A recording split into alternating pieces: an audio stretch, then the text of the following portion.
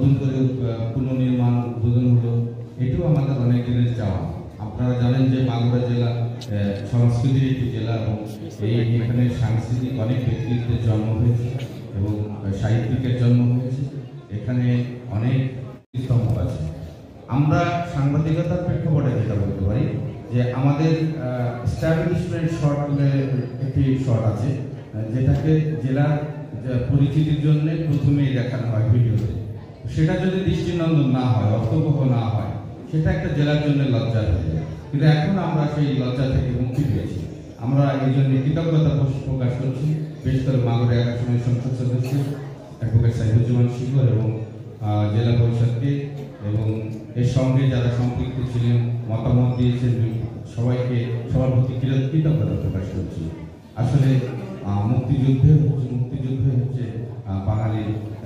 দীর্ঘদিনের লালিত স্বপ্ন এবং সেটি আমার জাতির জন্য বঙ্গবন্ধু শেখ মুজিবুর রহমানের নেতৃত্বে আমরা এই স্বাধীন দেশটি পেয়েছি। তার সেটাকে যদি অর্থবহ করে তুলে না দেওয়া যায়, তাহলে সেটার অর্থ কী? আমরা সেই জায়গা থেকে বলতে পারি বাংলাভাষী মুক্তি পেয়েছি। আমরা একটি অর্থবহ, সুন্দর দৃষ্টিনন্দন একটি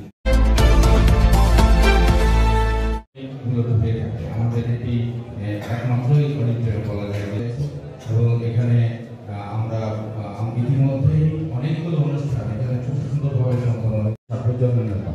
এটা উল্লেখ করার জন্য আমি মূলত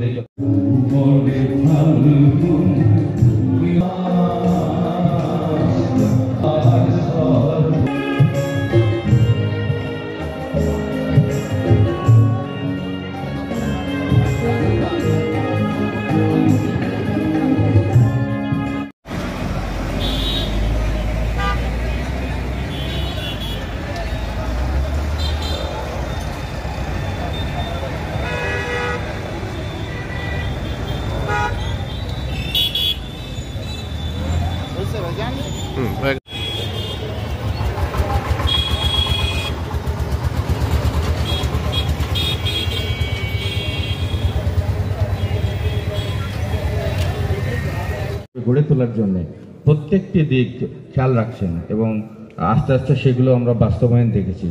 উনি যে প্রতিশ্রুতি দেন সেটা রক্ষা বড় পরিচয় যে প্রতিশ্রুতি দিয়ে রক্ষা করা এবং যেটা স্বপ্ন দেখেন সেটা বাস্তব। এটা কিন্তু আমাদের জন্যই করছেন। তো সেই জন্য তার প্রতি কৃতজ্ঞতা প্রকাশ করে। নির্বাচিত সভাপতি